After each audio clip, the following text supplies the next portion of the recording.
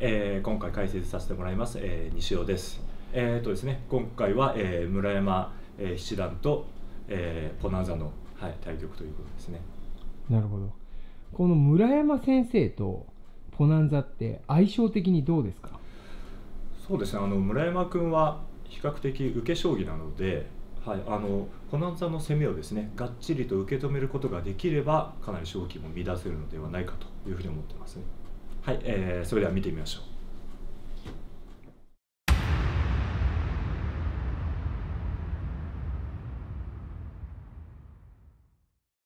現状で言うと、1分間将棋、どんな結果だと思います？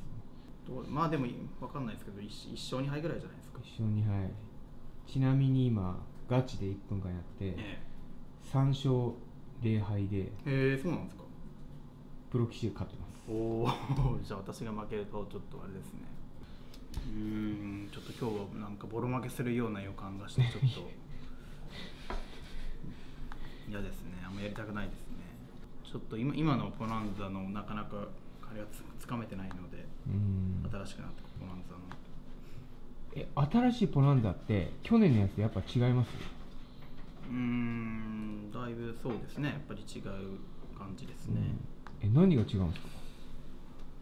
まあ簡単に言うとやっぱりやってくる作作戦が全然違いますね。うんえー、あんまりこうこうプロの公式戦で出ないような形がなななお多くなってます、ね、あそうですか。はいあはいじゃあ始めます。はいえーと、ポナンザが先手番ということですね。はい7六歩と突きまして3四歩。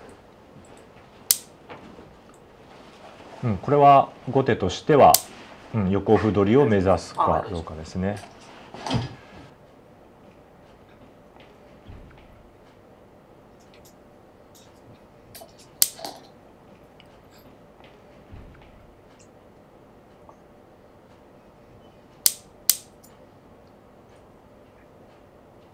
あこれは横歩取りになりそうですね。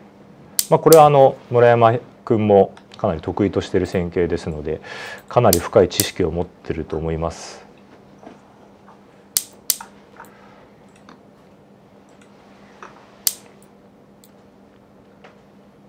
ここでまああの横歩を取ってくるかどうかがポイントですけど、まあ、まず取るんじゃないでしょうかね。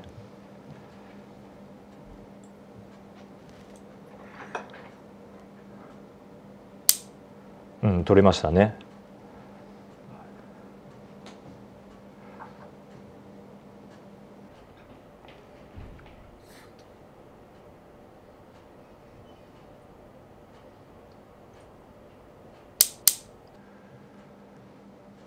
ほうこれはかなり踏み込みましたね。これ相横歩取りですね。はい。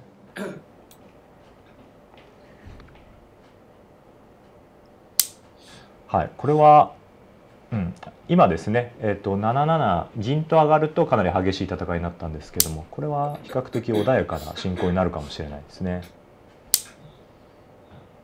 うん、まあこの辺りはあのまだまだ定石系といったところですね。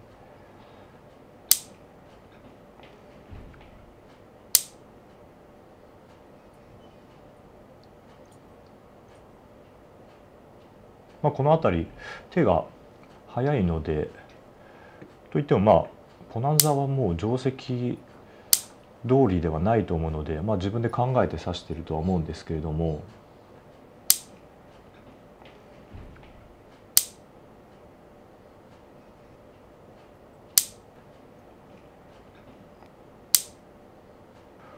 これ飛車交換になったらまたかなりこう持久戦調の将棋になりそうですね。